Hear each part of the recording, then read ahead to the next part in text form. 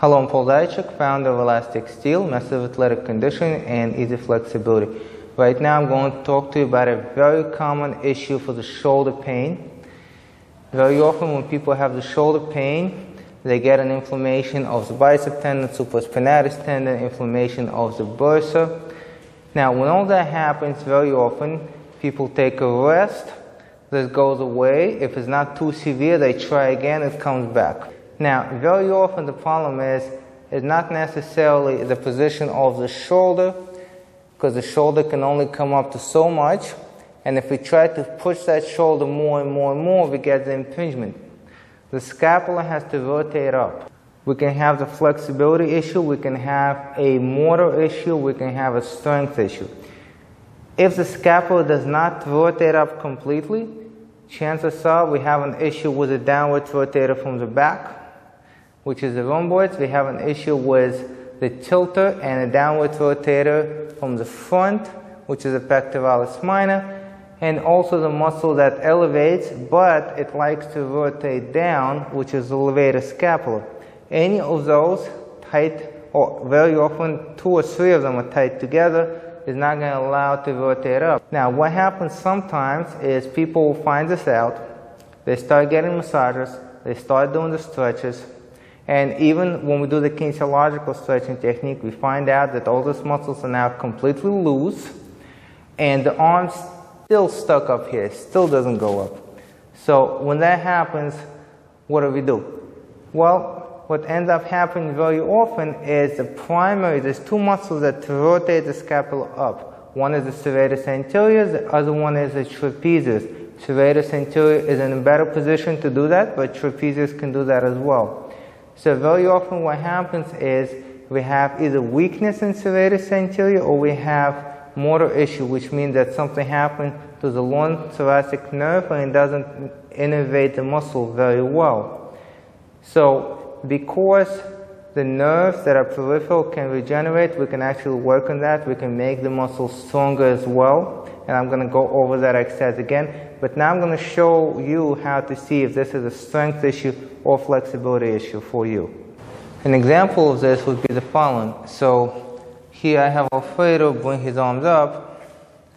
Now, if he is here, maybe he is lacking flexibility, for instance, to bring the arms up. Now, his arms are in good position, but assume they were here, or assume one arm was out to the side.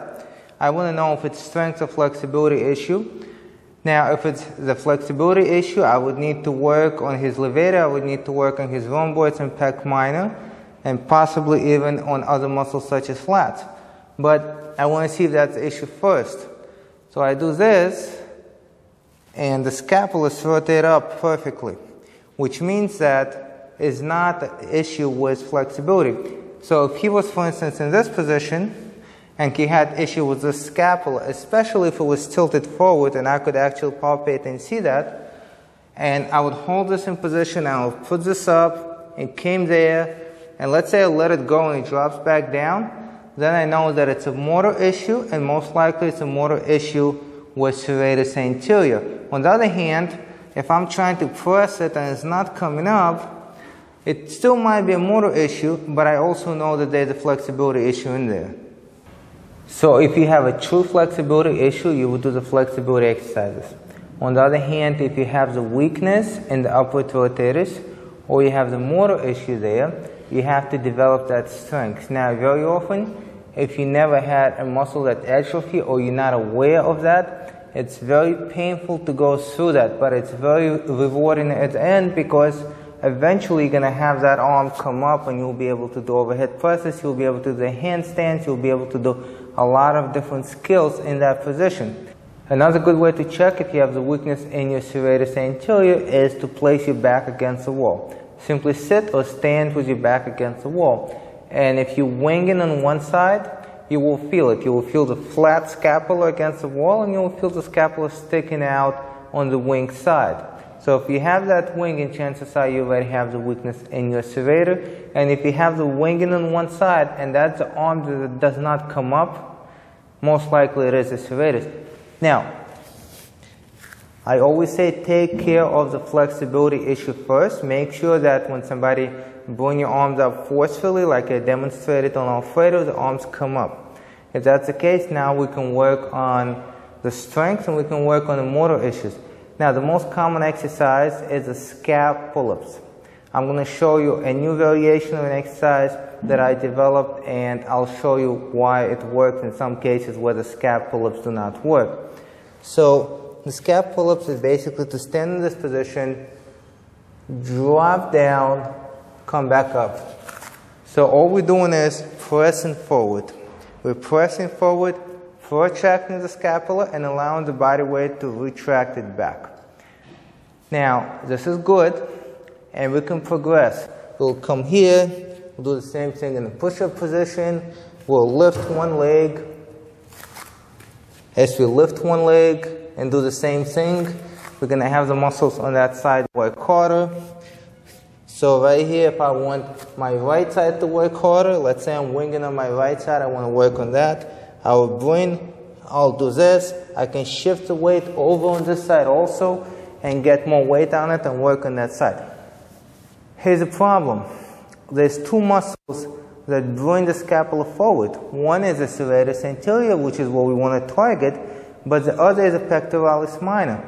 Now, pectoralis minor, not only it brings forward, but it also rotates down and it causes the wiggling of the scapula. So it actually can cause that. Once you do this exercise, if you have a weak serratus, chances are pectoralis minor is going to take over that action. Okay? So you keep doing that, you keep doing that, you keep doing it, and you tighten up that muscle. Half the problem, the other half the problem, you may not necessarily be working the serratus. When you work the serratus, after you have not worked it for a long time and it's weak, very often it actually feels like you're working the lats, believe it or not. It's in a very similar position in the body, and very often people think they're working the lats. The same way when you try to bring your arms up, you start bringing your arms up, and you feel the pull. That pull is the weakness of the serratus trying the best it can to rotate the scapula up. But very often people think, oh, I feel the pull, must be my lats pulling down because it's in the same spot, but it's the serratus. So now what we want to do is we want to work on the rotation. This works the serratus, but it works in the protraction. We want to work in the upward rotation. The problem is, if we start doing the upward rotation, besides the serratus, we're going to get the trapezius to work as well. We do not want the trapezius to work, but if we have to, it's preferable that the trapezius work together with the serratus than the pectoralis minor. So this is what the exercise looks like. Now, I do it with resistance. You don't want large resistance, but you want to progress to resistance. Before that, you want to do it without resistance just to understand. Now, you need to lie back at an angle at about 45 degrees, a little bit lower, a little bit higher. What that does is the more you lie back, the more you're taking the trapezius out of the game, and the more you're going into protraction. So you want two actions. You want the upward rotation and you want the protraction. The fact that I'm lying back helps me with the protraction, and the fact that I'm not completely on my back helps me with an upward rotation. I bring my arms here, and from here I begin to rotate up. Okay, I begin to rotate up. I want my head back, chin in, and as I rotate up, I also protract. In other words, I have my shoulders coming forward upward rotation and protraction, upward rotation and protraction. Once you get this movement by itself, you will add resistance to in the crease of your elbows. I don't use the dumbbells. Here, I'm using this weight here. So the same position, upward rotation, protraction, and down. And as I'm doing it, I'm actually feeling it in my lower serratus anterior and here upward rotation and protraction. And this strengthens the serratus anterior.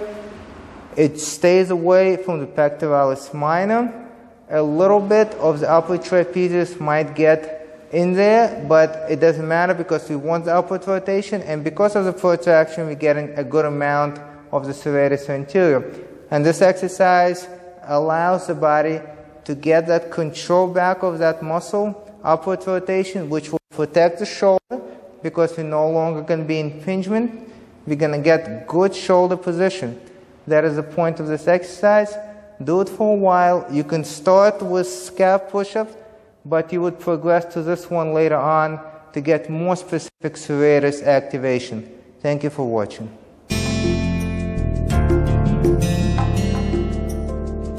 And three, rotation, come back with rotation, and then the target forward to the upper arm till we feel more stretch down lower. Lift the shoulder up, and the shoulder comes down, press down.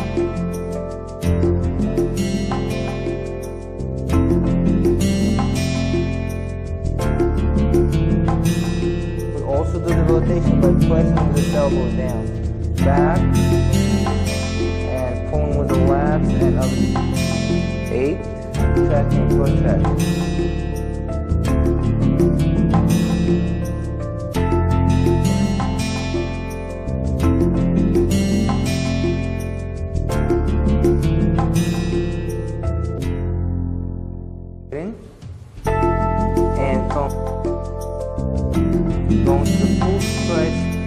Three.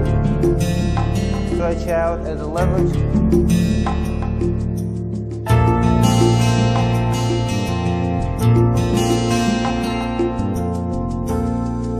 So from here we elevate, depress, and back. Good. Opposite. Eight, nine. Traction and drop the shoulders down to the floor. Excellent.